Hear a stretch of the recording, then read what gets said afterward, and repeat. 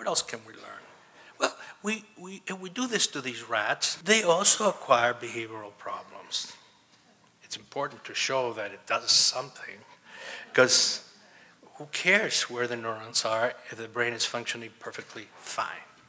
So, and in fact, there's a lot of literature in developmental neurobiology with other neuronal migration uh, problems where neurons migrate to the wrong place, but they get connected right and they uh, belong to the right kinds of networks anyway, and they don't produce any dysfunction. We needed to know whether ours did or didn't. So we, you know, here's a, a, a paradigm. We have a rat. We give him a tone, and then we give him a gap. You can have nothing in the gap, like silence, or you can put a different tone in there and do whatever you want.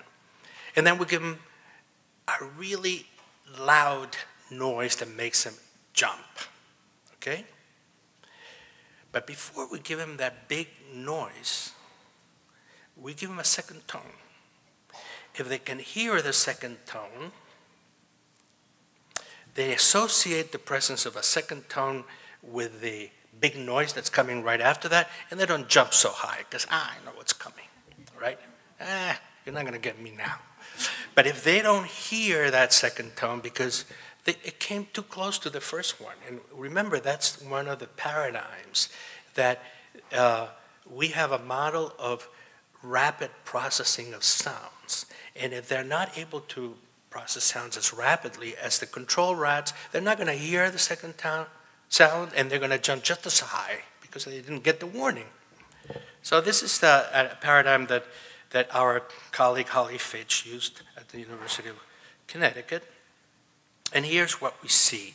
These are animals in which we have paralyzed this DYX1C1 gene, and we're able to demonstrate with, a, with short gaps the animals that have been paralyzed um, jump much higher than the ones that haven't been. But they have to be juveniles. As they get older, we're not able to show a statistical significance. So that shows something. That shows that you're more vulnerable to these effects when you're very, very young. And these animals, as they get older, they find some compensatory mechanism. We don't know which one it is.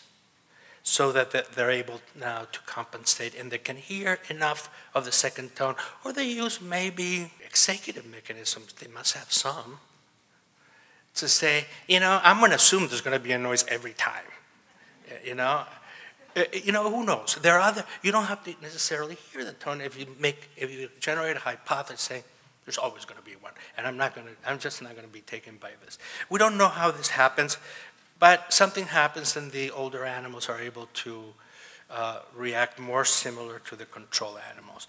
The control animals had fake short hairpin RNAs injected the ones that didn't really fit well into that gene we were trying to paralyze. So it didn't paralyze. But we made them go through all the other parts, the injection, all this. And so they, they are the same in every way, except in one case they're paralyzed, and in the other case they're not paralyzed in that particular gene function. We, we did this for another five years or so until we got knockouts. In, what are knockouts? These are now mice. Now there are some, now there's a, a the growth of knockout rats. And it's important to do rats because rats have a lot more behaviors that you can study. Mice are a lot more stupid than rats. so there are very few behaviors you can study. Maybe we're very stupid we don't know how to stu study them. But the, the, the, fact is that we don't, can't do much with behavior in mice. We can do a lot with behavior in rats. So we try to study rats. But paralyzing a gene for three or four days early on, uh, well, actually, it's quite late that we do it. We, do, we paralyze this gene in the rat just before it gets translated into protein, just before the gene does its thing, which is to code for a protein, okay? We don't know, you know, we're manipulating the gene in a very unique way. When, when, you, when you have a gene variant, you're born with it at conception. Nobody's doing something at the end of when the messenger RNA is going to finally code for protein. That's sort of very artificial. So the knockout is much more natural. And what, what the knockout is, is, is our ability to take out a gene from the genome. With a pair of molecular scissors, we go in there, take the gene out. We can take it out. You know, we have two copies of each gene. We can take out one copy. We can take out two copies. We can do whatever we want. Nowadays, you've heard about CRISPR and all this. You can put pieces of gene in, take them out, change them, take a gene out, fix it, put it back in. You know, molecular genetics has become an amazing tool. This is one of the first tools that molecular genetics developed, the ability to just snip out a, a piece of gene. And you do it when the embryo is 16 cells only. The previous one, we actually injected this blocker into uh, a mouse fetus uh, a couple of days before it was born, you know, much later in development. This is more naturalistic because it's like from the beginning. And when you inherit a gene variant from your parents, you, you have it from the beginning, right? So it's more naturalistic. And here's, uh, here's a, a, targeted mutation or a knockout uh, using the DCDC2 gene. That's a different gene. It's also very strongly associated with dyslexia in Caucasian populations. I just read a paper that it's not the case among the Chinese. And here, you know, this is the, these are our molecular scissors. We cut out this E2 so that at the end we have E1, E3, and E4, but we don't have E2 anymore. And when you do this, when you cut out that E2, the gene doesn't function. It's not producing the protein that it's supposed to produce compared to the wild type, control. E refers to exon. These are the business part of the gene. Those are the part of the genes that uh, construct the protein. This part of the gene, the black part, have, has been called junk DNA. That's because we didn't know what it did. It's not junk at all. It, it contains regulatory gene sequences that make these genes work, start working, stop working, work hard, work. They, they regulate the function of, of, the, uh, of the exons, and they're called introns. And so this is together, it's a long story, but this is basically what you need to know now. We, we take out one exon and we silence the gene. We do it in both copies so that our animal is deleted twice here, has a deletion in two of the copies of the gene. And what happens? Well, lo and behold, even though when we did the short hairpin RNA in the rat and we produced neuronal migration anomalies. When we do it this way in the mouse, we do not produce neuronal migration anomalies. What is it? Do they cause neuronal migration anomalies or do they not? We're struggling here. I expected neuronal migration anomalies. What am I going to tell my mother now?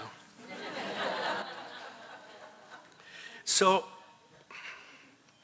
we know it's a different animal. Maybe there's a species specificity that if you do it to mice, it doesn't happen because they have other compensatory mechanisms.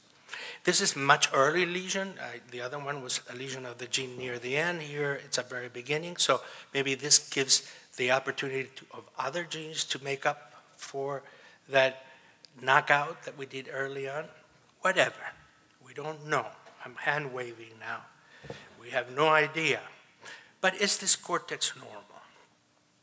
Yes, turns out the cortex is not normal. And it's not normal in a very interesting way. When we, uh, the, these are neurons in the middle of the cortical plate here. These are layer four neurons. These are neurons that receive input from the thalamus. So sound coming in from the outside eventually gets to the thalamus and then gets passed on to these cells in the cortex. And we look at the function of these cells that have had deletion or knockout of this particular gene. And those neurons are very noisy. Here's the control neuron, chukum, chukum, chukum, very nice periodic firing of these neurons. Looks very normal cortical neuron here.